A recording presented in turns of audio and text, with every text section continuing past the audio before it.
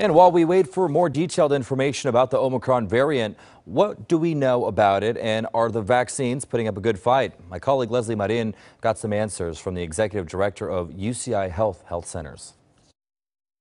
Well, the, the Omicron variant symptoms are pretty similar to the ones that we're already familiar with.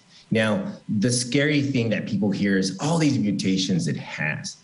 More mutations doesn't mean it's a badder virus or it's going to cause us more issues. We're going to learn more about that as time goes on.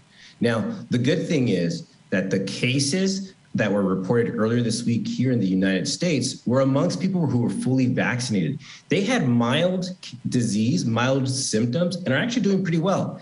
If that holds true against this variant and the others, our vaccines do a great job of protecting us from serious disease and hospitalizations. And there's still a lot we don't know when it comes to the Omicron variant.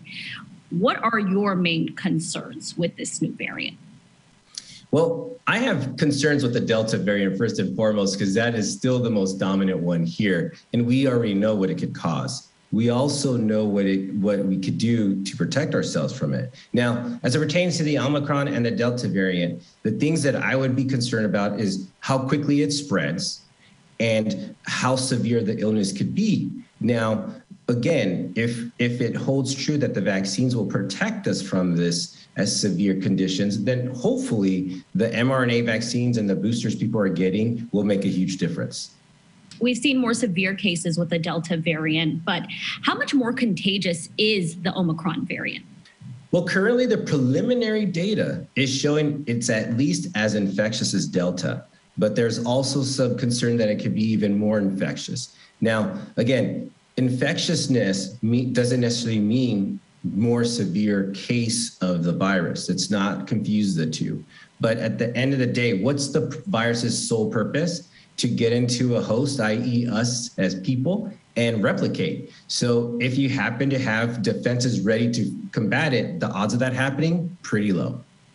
And we're seeing cases continue to rise as we get into our winter months.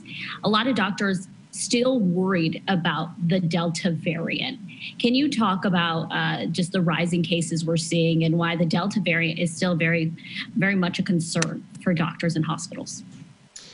Well, we have to remember what this virus is. It's a winter virus. The coronavirus family, which COVID 19 is a part of, is a winter virus. So it is more prominent during this time, and we're naturally going to be indoors if we're not fully protected, if we don't have great ventilation, the odds of spreading this is really high. Now, if you take a look across the country in those states that are getting colder, their cases are rising, but a lot of factors come into play. It also depends on how well vaccinated the community is and how prominent the virus is spreading within those communities.